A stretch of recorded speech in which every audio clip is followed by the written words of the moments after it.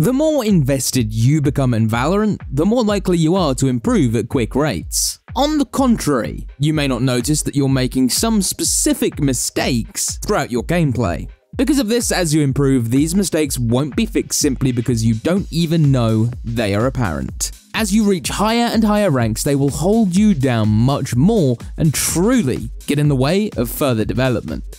This is the reason we have decided to list our three main mistakes that you could start working on today in order to benefit you as a player. Without further ado, let's get right into the video. What's up guys, my name is Matt, and today I will be your guide on all the little mistakes that you've been making. Throughout this video, we will be going over some things that you may or may not be doing throughout your games that are holding you back. Although no two players are the same, we've created this list to cater toward even the more advanced players. Throughout coaching, we have found that these three mistakes tend to never be fixed, no matter what rank you have achieved. So, listen closely. This video could be the path toward future success, and hopefully assist you to finally reaching the rank that you deserve. But before we get into the guide, let's first continue our tradition and discuss the question of the day. Today's question is an interesting one that will likely yield mixed reactions from players. Would you like to see a level bar that tells you exactly when you're about to rank up or derank? We know that a lot of you CSGO and League of Legends players enjoy the fact that you can't tell when you're going to rank up due to the surprise factor that gets put into the mix. However, thinking that you may rank up and then remaining the same rank after multiple games can be frustrating, and being on the cusp of ranking down but never quite knowing if it's gonna happen can be quite stressful too. So, what do you guys think? Is the excitement of ranking up worth taking your journey throughout the ranks in the dark regarding your exact placement? Personally, I'd like to see where I am specifically regarding my rank, only because I like knowing minor information of that nature, but I know that not all people are going to feel the same. So, what do you think? Let us know in the comments and we're going to read as many as we can. Right, without taking up any more of your time, let's get right into the top 3 mistakes that might be holding you back from reaching your goals. The number one tip that we found that tends to hold players back the most is revolving gameplay around setups an excessive amount. Although the idea of setups tends to bring to mind certain agents such as Cypher and Killjoy, these few characters are not the exception.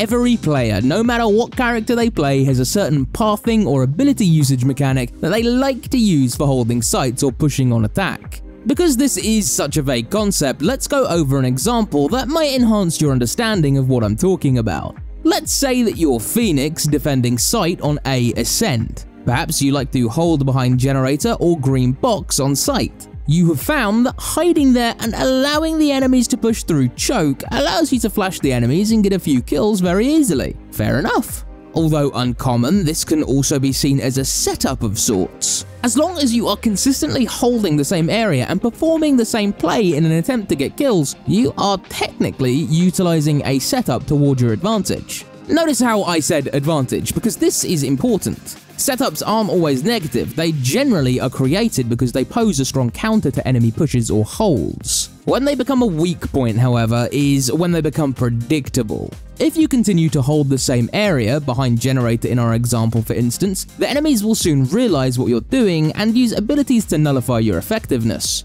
Perhaps in the scenario that we've painted, you would end up being smoked off by an Omen or a Brimstone, or even mollied by an enemy Phoenix. No matter what the enemy decides to do, it would be very easy for them to counter to you if they knew exactly where you were every single round. Although this seems like a fairly simple concept, you'd be surprised to see how many players rotate between the same two or three spots all game when holding sites. In order to avoid this situation, one thing you could do is learn more locations to hold. Although these are still considered setups, you would no longer be expected to be in the same area if you learned roughly 4 or 5 spots to hold on each site. Furthermore, you will also need to learn how to play off of enemy play.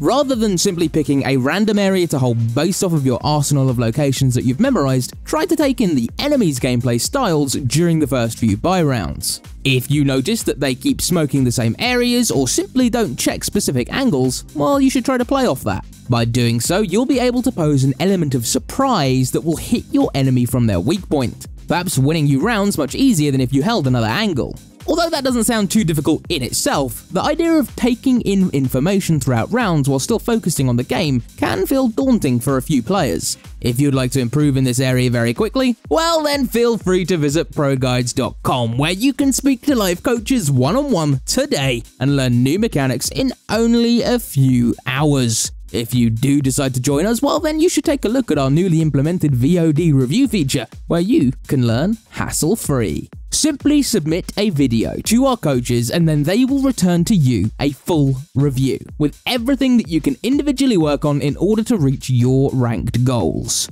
Moving on from setup-based play, let's discuss teamwork. Although you may have heard many times that teamwork is the key to success, pushing the envelope too far can also bring negative effects into your games. Now don't get us wrong, things like economy and pushes are enhanced by team play. What we're trying to say is to not expect your teammates to be perfect, or always do what you think might be the right call. For instance, if you think that your team should buy second round since you guys managed to plant spike and get 3 or 4 kills before losing, don't be angry if someone else doesn't agree. More often than not, if you play solo queue, you're going to need to learn how to adapt to playing with certain teammates that simply don't put their all into the game. As unfortunate as it is, many people tend to care only about themselves when playing, without truly considering the situation of their teammates. Ultimately, if you don't get used to this, you may fall into a state of tilt that could lead to a long sequence of lost rounds and potentially the loss of a winnable game. In order to make this portion of the video beneficial, let's go over some common scenarios that you will encounter in solo queue and how you should deal with each of them respectively. First off, there is economy. As we just briefly skimmed over the topic, you may have noticed how economy can truly impact your games. More specifically, if people refuse to buy or save as a team, nothing you do as an individual can change their decision. At most, you can ask them to follow the team's lead, but if they refuse, don't try to push your opinion on them too hard. Most often the situation that occurs in solo queue is one player buying while the rest of your team is forced to save due to a limited economy. If this happens in your game, as bad as this may seem, your best option is to allow that teammate to entry frag. This, however, is very different from baiting. Although you want to let the player with the weapon go in first, you want to push in right behind them in order to secure a trade in the instance that he dies. Ultimately, the reason for allowing them to entry frag in the first place is because of this scenario. If you are able to secure a trade due to one of your teammates challenging with a weapon, someone else will easily be able to pick up the gun after it drops. This will create the most beneficial situation, where no matter the outcome, someone will still have a weapon as you push onto site. Moving on from economy, the other scenario where we often see people focus on teamwork too much is post-bomb plant holds. In these scenarios, players tend to trust their teammates too little and because of this, attempt to micromanage their plays. For instance, in a 2 vs 1 situation where you and your teammate are alive with the bomb planted, the best play would be to simply hold site together and trade for each other. Many people, however, tend to hunt kills. If one of your teammates does this in-game, rather than yelling at them to hold back, you should instead maybe push with them. This is because, although holding together would be the best situation, pushing together is still better than one player hunting and the other holding site. Ultimately, what you should take from this section of the video is that no matter how much you try, you won't always be listened to in-game. Rather than becoming frustrated with your team, change your playstyle based on your team's play and simply deal with the situation that is presented to you to the best of your capabilities. The last mistake that we will be presenting to you today is trying to climb too fast. Now, I get it, reaching higher ranks as fast as possible is the reason we all focus on our rank matches so much. But taking in too many things at once could overwhelm you in game and cause you to improve much less.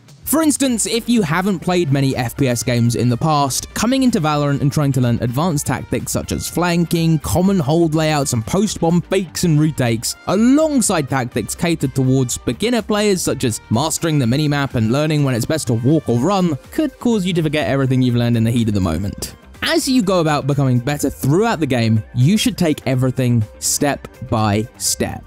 More often than not, strategies build off one another, so, knowing how to perform entry-level strategies very well will significantly help you when trying to improve in more advanced areas of the game. Basically, the general tip you should follow here is don't try to learn more strategies until those you are currently working on become cemented into your gameplay so much that you just don't need to think about them anymore. For instance, if practicing your walking mechanics, you should be able to decide when it's beneficial to run or walk without having to look at the map. After you've mastered something like that, you could move on to something like mastering smokes rather than jumping right into advanced lineups or other things of that nature. If you are still feeling a little lost regarding what to practice, here is a little list we set up to guide you on your journey. First of all, focus on general mechanics such as shooting and recoil. Second, focus on economy. Third, move on to team play regarding smokes and ability usage. And lastly, focus on combining these tactics together for the best possible performance in game. Now, this isn't a black and white list, but it is a general layout that could give you an idea regarding where you should go next regarding your current skill level. I get it, this tip can be hard to implement into your gameplay because you have a strong desire to improve, but we promise you that you will see significant drops in the amount of time it takes you to learn new tactics when taking this tip to heart. You should take your time, master your strategies, and then you'll rank up in no time at all.